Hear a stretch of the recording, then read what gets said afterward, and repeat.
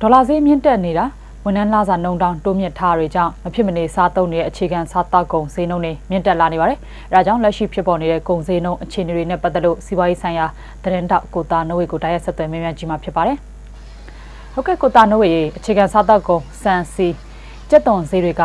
ဘယ်လောက်ထိမြင့်တက်သွားတယ်လဲရှင်ပြပြပေးပါအောင်။ဟုတ်ကဲ့အခုဆိုလို့ရှိရင်ကျွန်တော်တို့ဒီပေါ့နော် အခြေခံစားသောက်ကုန်ဈေးနှုန်းတွေကမြင့်တက်တာပဲရှိပြီးတော့လုံးဝကျတာလုံးဝမရှိပါဘူးခင်ဗျဟိုဟာဈေးတက်နေတဲ့ကုန်စီတချို့တော့ရှိရပါတော့အထူးသဖြင့်ဆိုလို့ရှိရင်ဒါကြက်သွန်တွေပေါ့ဒီမှာမြင်ရတဲ့ကြက်သွန်တွေဆိုလို့ရှိရင်ဒီ3လအတွင်းမှာအမြင့်ဆုံးဈေးနှုန်းအထိဖြစ်သွားပါတယ်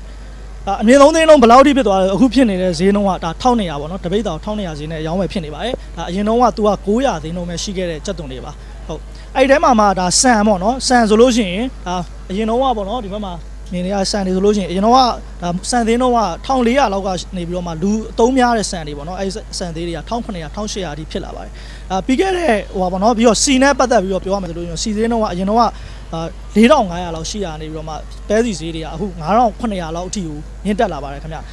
အဲ့လိုပဲပေါ့နော်ဒါဒူစားသုံးကုန်တွေဖြစ်တဲ့ဒီဟိုအသားငါးတွေကလည်း ဟိုဈေးကတက်ပြီးတော့လုံးဝပြန်မကျနိုင်ပဲရှိနေပါတယ်အခုဒါဟိုဟာဆိုလို့ရှိရင်ပေါ့နော်ငကြင်းဆိုလို့ရှိရင်တပိတ်တာ9000ပေါ့နော်9000အဲ့ဝင်းကျင်မှာဖြစ်နေပါတယ်ပြီးတော့ဝက်ဆိုရင်ဈေးကပြန်မကျပဲနဲ့ဝက်သားဆိုလို့ရှိရင်ပေါ့နော်6000ပေါ့နော်အဲ့နားမှာပဲရှိနေပါတယ်ခင်ဗျဟုတ်ကဲ့ဟုတ်ကဲ့ပါရှင်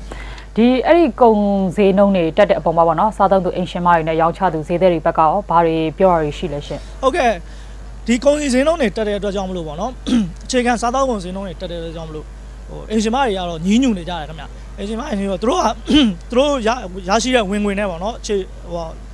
ဝင်ငွေနဲ့သူတုံးတဲ့အတုံးချင်းနဲ့မများတာတာရှိတဲ့အတွက်ကြောင့်မလို့သူတို့ဈေးဝယ်တဲ့အခါမှာအများကြီးတော့ချိန်ပြီးတော့စဉ်းစားနေရပါတယ်ခင်ဗျအဲဟိုအများစုကတော့ဒီဈေးကြီးတဲ့ဟာတွေကိုတိတ်မဝယ်ခြင်းကြတော့ပဲနဲ့သူတို့ဝင်ငွေနဲ့ကြိုက်တဲ့ဟာကိုပဲမှန်းပြီးတော့ဝယ်နေကြပါတယ်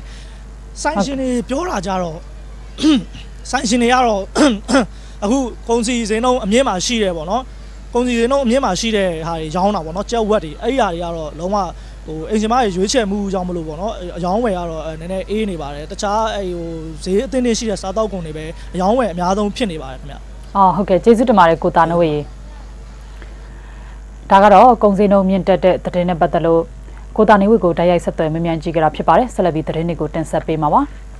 59ကကြီးပြင်ဆင်မှုပြည်လုံးကျွတ်ဆန္ဒခံယူပွဲကို ဒီနေ့မှာကျင်းပမယ့်ရွေးကောက်ပွဲနဲ့တူပူးရဲပြုလုပ်ဖို့ကိုပြည်အောင်စုလွှတ်တော်ကဆိုင်းငံ့မှုအတည်ပြုခဲ့ပါတယ်ဒီသတင်းကိုဥနေဖြိုးဝင်းကနေပြည်တော်ကနေပြပို့ထားပါတယ်ရှင်